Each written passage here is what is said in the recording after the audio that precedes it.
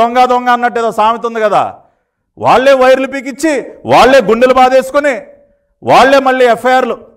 ఏది చంద్రబాబు నాయుడు గారు ఘోరమైనటువంటి స్కామ్ చేసేసారు ఘోరమైనటువంటి తప్పు చేసేసారు. ఇంత నష్టం జరిగింది అంత నష్టం జరిగిందని ఎఫ్ఐఆర్లు పెట్టేసి ఆయన్ని అక్రమంగా ఇవాళ జైల్లో పెట్టారు. అంటే చాలా క్లియర్గా ఇవాళ అర్థమవుతుంది కదా మీ అందరికీ.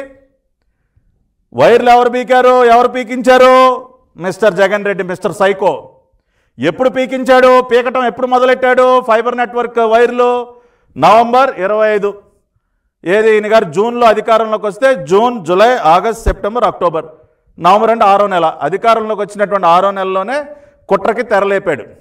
అరే బాబు ముందెళ్ళి మీరే పీకేయండి మొత్తం. ముందు అసలు ఉన్నదంతా నాశనం చేసేయండి. తర్వాత ఏమీ లేదని మనమే గుండెలు బాదుకుని మనమే కేసు పెట్టేద్దాం. ఎలాగో మన చెంచా సిఐడి ఉంది కదా. ఆ చెంచా సిఐడి మనం ఏది చెప్తే అది రాసేస్తారు కదా ఎఫ్ఐఆర్లో. ఎఫ్ఐఆర్ కట్టేసి బాబు గారిని లోపలేసేద్దాం లోకేష్ గారిని లోపలేసేద్దాం. ఇది స్కెచ్ కాబట్టి ఇవాళ రాష్ట్ర ప్రజలందరికీ మేము ఆధారాలతో సహా చెప్తున్నాం ఫైబర్ నెట్ అని చెప్పి ఏదైతే పెద్ద కుంభకోణం కుంభకోణం అని చెప్పి వీళ్ళు ఏదైతే ఓదరగొడతా ఉన్నారో బులుగు మీడియాలో అసెంబ్లీలో కొంతమంది తోలుబొమ్మలు లాంటి అధికారులను పెట్టుకుని చేతులు ఏదైతే ప్రెస్ మీట్లు పెట్టి ఎక్కడ ఎక్కడెక్కడైతే ఏదైతే వాగిస్తూ ఉన్నారో ఆ కుట్ర ఎక్కడ మొదలైందో చూడండి.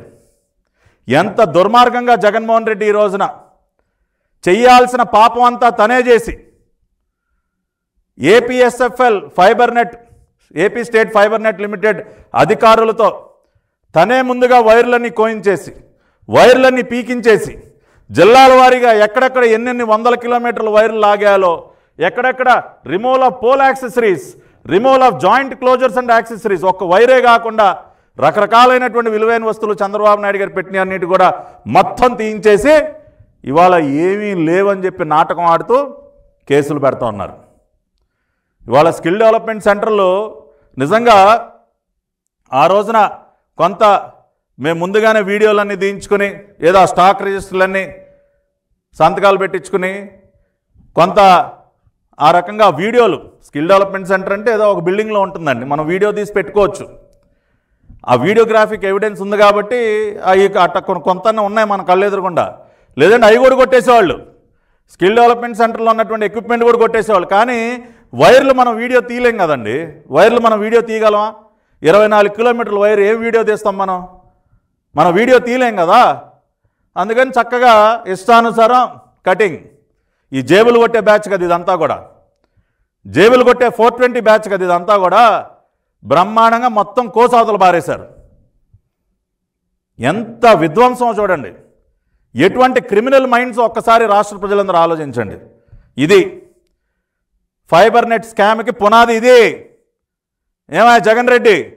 దీనికి ఏమి జవాబు చెప్తావు? ఇవాళ నీ కుట్రంతా బట్టబయలైందయా రమ్మను నీ మంత్రి గుడివాడ అమర్నాథ్ని.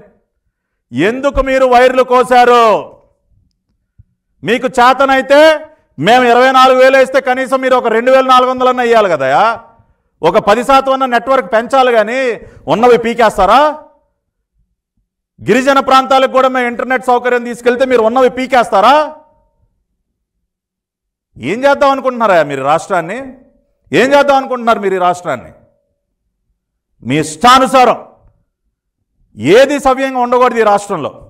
ఈ రాష్ట్రానికి ఒక రాజధాని ఉండకూడదు.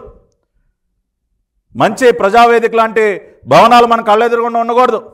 పోలవరం లాంటి ఇరిగేషన్ ప్రాజెక్ట్ ఉండకూడదు. ఇండస్ట్రీస్ ఉండకూడదు. మంచి రోడ్లు ఉండకూడదు. ఏం ఉండకూడదు. ఉన్నదంతా నాశనం అయిపోవాలి. అందుకనే కదా సార్ మిమ్మల్ని సైకో అని పిలిచేది రాష్ట్ర ప్రజలందరూ కూడా. అందుకనే కదా మోత మోగించారు నిన్న. ఇవాళ ప్రపంచవ్యాప్తంగా దేనికి మోత మోగింది? నీ చెవులు బద్దలయ్యేలాగా ఎందుకు మోత మోగింది మిస్టర్ జగన్ రెడ్డి? ఇటువంటి తప్పుడు పనులన్నీ నువ్వు చేస్తున్నావు కాబట్టి ఈ రకంగా అక్రమంగా చంద్రబాబు నాయుడు గారిని ఇరికించావు కాబట్టే నీకు మోత మోగింది నిన్న. కాబట్టి ఇప్పటికైనా నీ కుట్రలు మానుకో. ఇవాళ ఒకటే చెప్తా ఉన్నాం. పోలీస్ అధికారులు కూడా విజ్ఞప్తి చేస్తున్నాం అయ్యా దయచేసి మీరు ఇంకా కూడా జీ హుజూర్ అని తాడేపల్లి ప్యాలెస్కి సరెండర్ అవ్వద్దండి. న్యాయబద్ధంగా వ్యవహరించండి చట్టబద్ధంగా వ్యవహరించండి. ఐపీఎస్ పాస్ అయ్యి యూనిఫారాలు వేసుకున్నందుకు కనీస బాధ్యతగా వ్యవహరించండి. We're requesting the police department and the higher officials